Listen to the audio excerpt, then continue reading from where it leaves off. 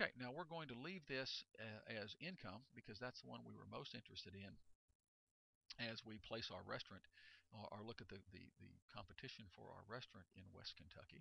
Uh, and so now we're going to move on to the tools that you're required to use and the tasks you're required to perform uh, as part of this consumer uh, GIS project. Uh, and to do that, we need to, to place on the map uh, a picture, a geotag picture of a restaurant that we are, are whose service area we're trying to, to study, and then also uh, perform a search of the other restaurants that are in the immediate vicinity uh, of that restaurant. To install the add-ins, click the logo in the upper left, then click Resource Center. To open the web page in which the resources are housed, click Resources Gateway, then ArcGIS Explorer, then Data. And finally, ArcGIS Explorer Labs. This loads the add-ins that are available and gives you the chance to install the ones that you're interested in we're going to do two. The first of those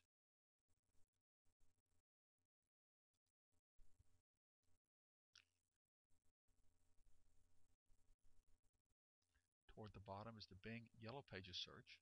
So click that, read the description, and then click Open in ArcGIS to install this one into the system.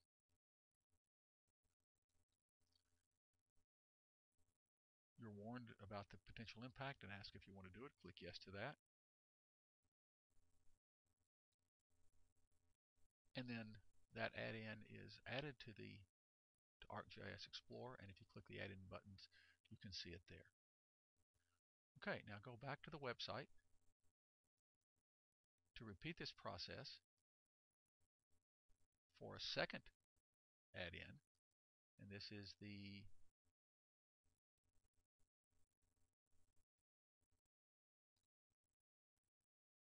geotag, add geotag images, add in as well. Let's find that one. Add geotagged image here. We repeat the process. Click Open in ArcGIS. Open. We get the same warning. We say yes to that. That window closes. And now if we go to add-ins, we have add geotagged images here as well. So let's take a look at that one double click that add-in, go to the folder where you loaded or downloaded from your to your system the BBBBQ JPEG picture of Billy Bob's Burgoo and Bistro. That image has been geotagged, as were all the images that we used in Picasa when we did Murray State. Uh, you can see that it moves to a location uh, in the in the map where the, the, the restaurant is located. Uh, and this is kind of an odd feature, but just kind of work with it a little bit. Uh, it actually the, the the image is not displayed at this level of resolution of the map at this scale, but if you move back out a little bit, you can see it. Okay, now it's always there. It's just that because of the scale dependency established for this layer, you won't always be able to see it when you zoom in.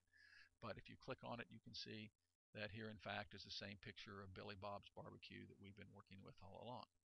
So we now know where that is on the map and have some idea where it's located in West Kentucky. Uh, and notice that as we move into the map, we, we move beyond the demographic layers uh, and start to see some of the underlying imagery uh, inside that area. So let's zoom back in. Notice that it's just how it's disappeared. Uh, let's focus on the center of it. And now let's go to Bing and the Bing Yellow Pages search. Uh, it gives us the type of business or category we want to look for. Let's look for restaurants and hit the search key.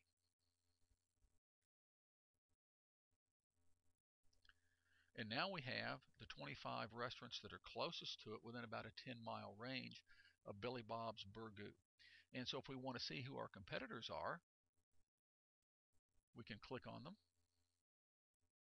Uh, that will zoom us specifically to that competitor. Uh, and we can see where they're located.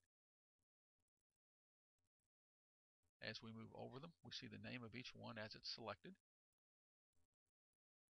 And if we go back out, zoom back out, we see that we can also click on the nearest loc and get the information available on them, including a trip to their website. Okay, so now we have a, a map which we can use to demonstrate some of the demographic characteristics of the market area that we're concerned with. We can locate, uh, in this case, a restaurant on, on the map by using a geotag picture, and we can identify its major competitors within about a 10 mile radius, who they are, and even find out some information about them from their website.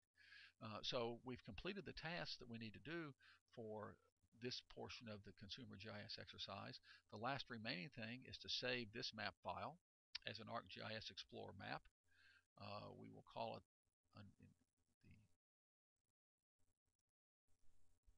BBBQ